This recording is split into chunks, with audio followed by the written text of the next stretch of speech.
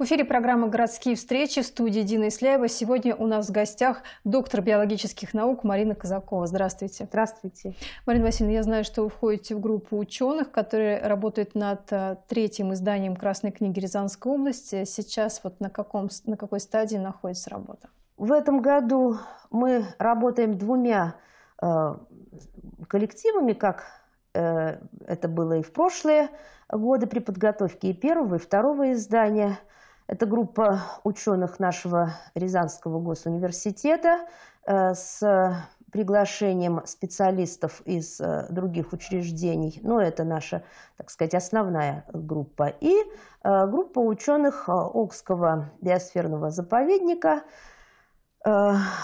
Два основных раздела в Красной книге – это раздел по животному миру, его курирует Окский заповедник, и раздел, относящийся к растительным объектам, но не все из них являются растениями.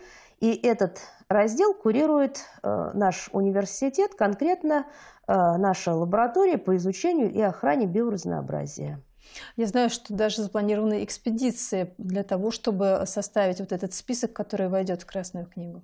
Поездки предполагаются в разные районы области, но наши многолетние, вот уже более 30 лет исследования растительного покрова Рязанской области позволили нам э, некоторые э, части области обследовать более детально, а некоторые, к сожалению, э, оставались до сих пор менее изученными, например, территории Петелинского района, Путятинского, Чучковского района, да даже Старожиловского района.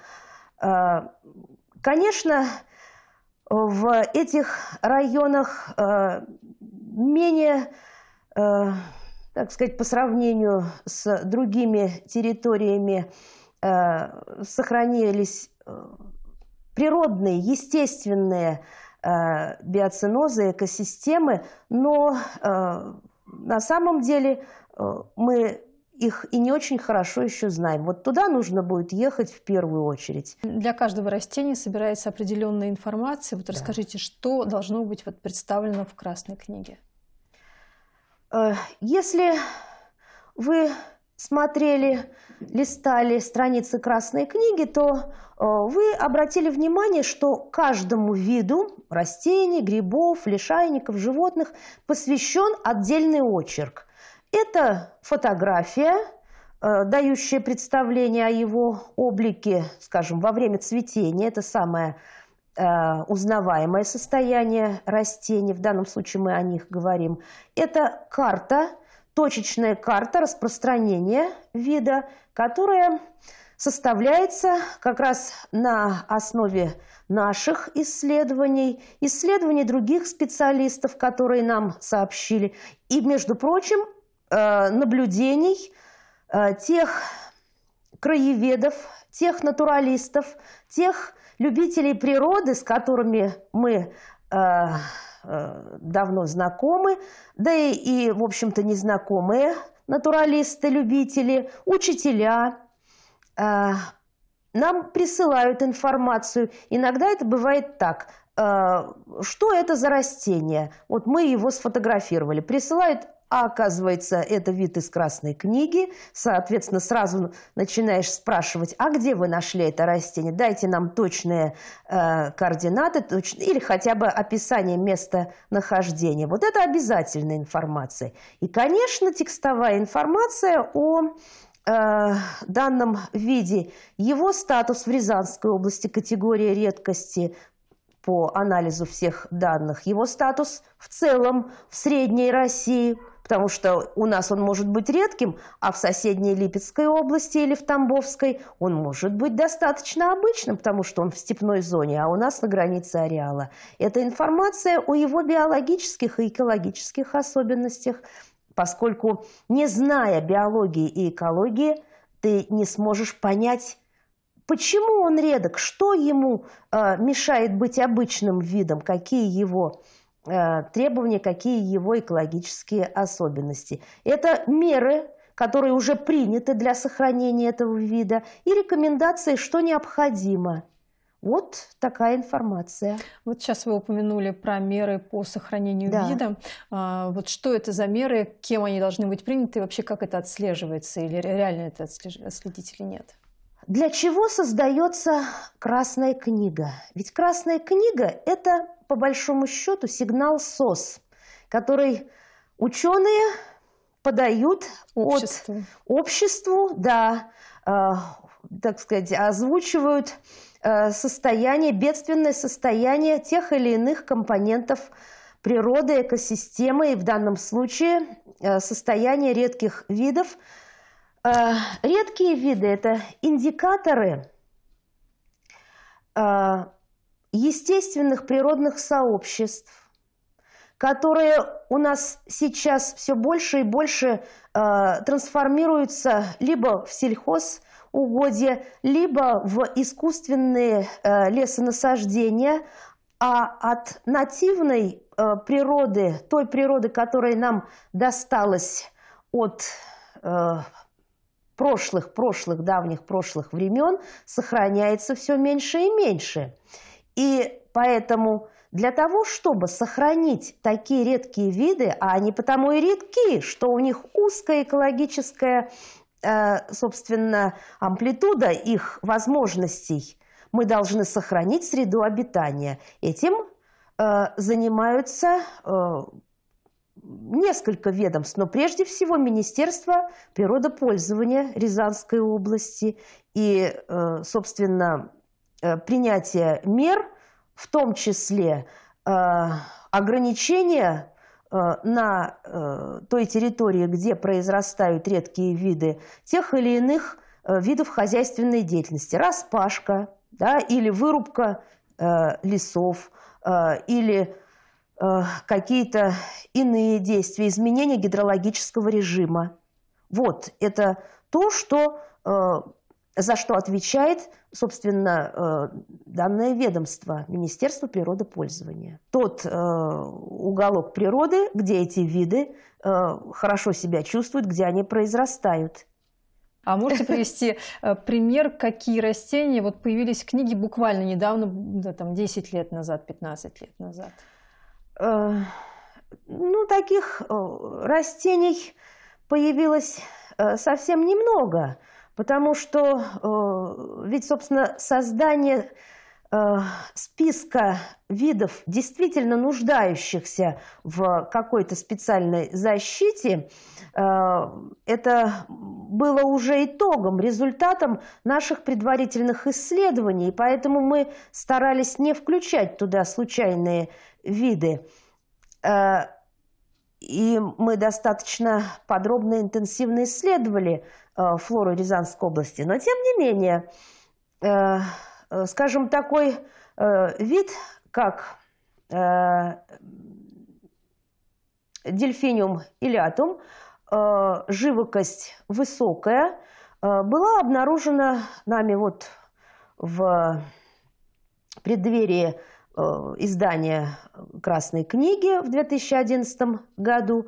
Э, это редкий северный вид, который у нас в Мещере находится на южной границе ареала, и этот э, вид действительно является хорошим индикатором сохранившихся долинных сообществ природных, и его нужно было сохранить, этот вид, и, соответственно, эти сообщества.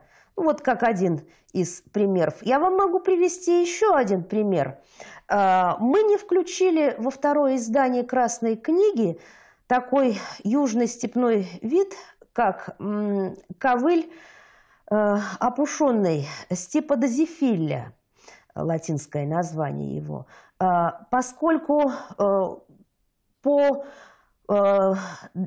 исследованиям прошлых лет, 40-х, 1940-х годов, этот вид действительно в Михайловском районе на Проне находили. Мы предпринимали тогда свои э, обследования, вид не нашли.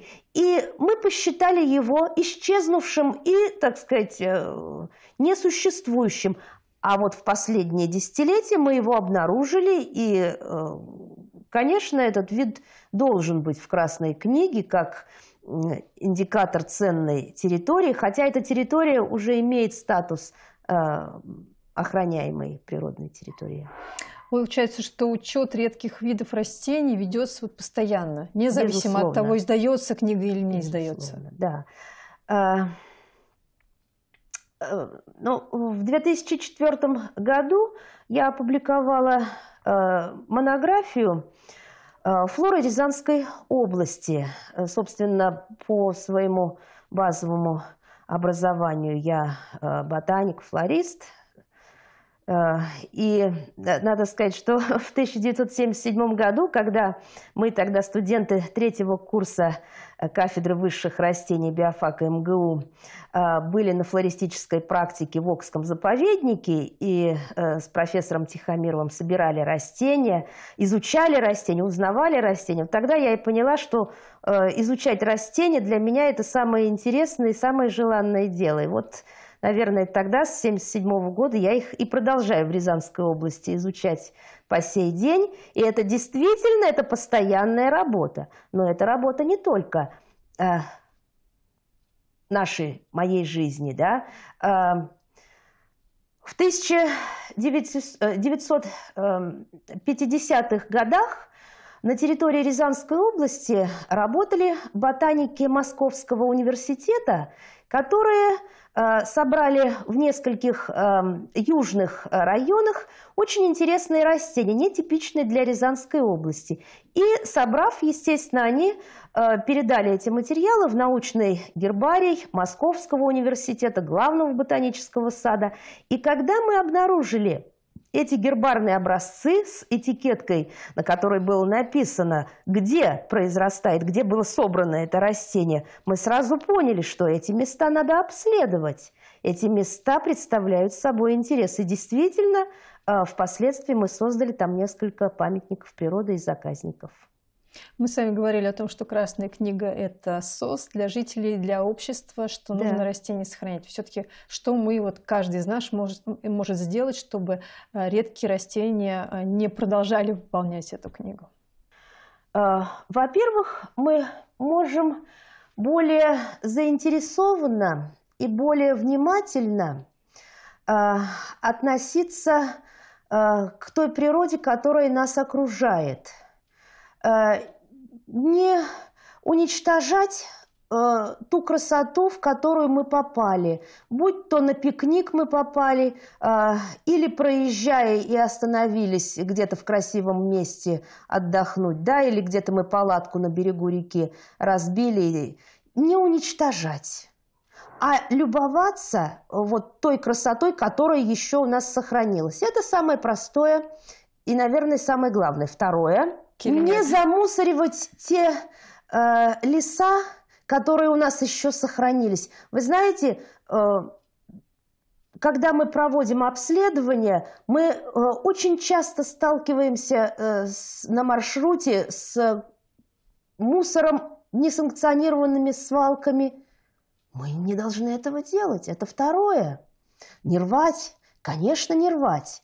Э, это та э, красота, которую, если мы ее уничтожили, сорвали один э, раз, полюбовались, все, ее больше не будет. Так, между прочим, уничтожили в Рязанской области такой вид, занесенный в Международную Красную книгу, как Венерин башмачок.